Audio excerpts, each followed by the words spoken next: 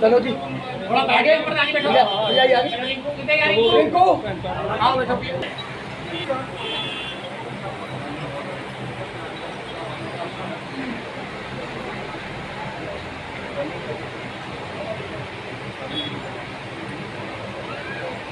संप्रकार सेवा लड़ुअन का भोग लगे पंच सेवा जय गणेश जय गणेश जय गणेश महादेवा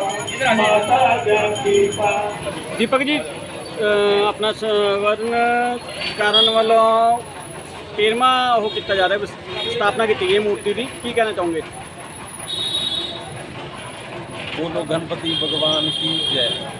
ਇਹ ਸਾਡਾ ਸਵਰਨਕਾਰ ਐਸੋਸੀਏਸ਼ਨ ਤੇ ਮਰਾਠਾ ਐਸੋਸੀਏਸ਼ਨ ਤੇ ਸਾਰੇ ਸ਼ਹਿਰ ਨਿਵਾਸੀਆਂ ਦੇ ਸਹਿਯੋਗ ਨਾਲ, ਬੜੀ ਖੁਸ਼ੀ ਤੇ ਪ੍ਰੇਮ ਨਾਲ ਗਣਪਤੀ ਜੀ ਦੀ ਮੂਰਤੀ ਦੀ ਅੱਜ 13ਵੀਂ ਵਾਰ ਸਥਾਪਨਾ ਕੀਤੀ ਗਈ ਹੈ। ਇਹਦਾ ਮਤਲਬ ਇੱਕੋ ਹੀ ਹੁੰਦਾ ਜਿਹੜਾ ਭਗਵਾਨ ਸੰਦੇਸ਼ ਦਿੰਦੇ ਨੇ ਵੀ ਆਪਾਂ ਸਾਰੇ ਪਰਿਵਾਰ, ਸਾਰੇ ਆਪਣੇ ਸ਼ਹਿਰ ਨਿਵਾਸੀਆਂ ਨੂੰ ਆਪਸ ਦੇ ਵਿੱਚ ਪ੍ਰੇਮ ਪੂਰਕ ਰਲ ਮਿਲ ਕੇ ਹਮੇਸ਼ਾ ਇਹ ਸਾਰਿਆਂ ਨੇ ਇਕੱਠੇ ਹੋ ਕੇ ਬਣਾਉਣਾ ਹੈਗਾ ਜਿਹਦੇ ਵਿੱਚ ਇਹ ਪਿਆਰ ਦਾ ਬਹੁਤ ਪਿਆਰ ਤੇ ਸਨੇਹ ਦਾ ਪ੍ਰਤੀਕ ਦਿੰਦੇ ਨੇ।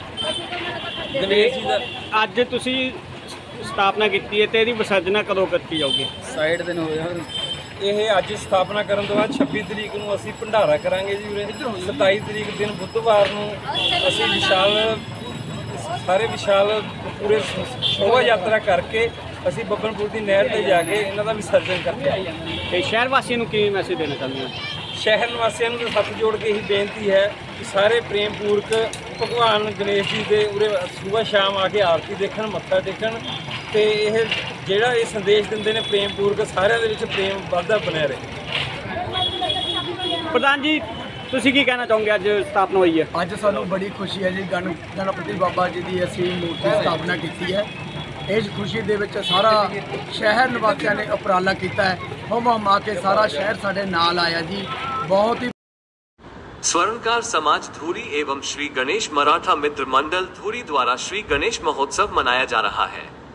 इस अवसर पर मीडिया से बातचीत करते हुए दीपक वर्मा सराफा और स्वर्णकार संघ धूरी श्री गणेश मराठा मित्र मंडल धूरी के अध्यक्ष कहा कि हर वर्ष इस वर्ष भी तेरहवा गणेश महोत्सव धूमधाम से मनाया जा रहा है धुरी से विकास वर्मा की रिपोर्ट युगमा टीवी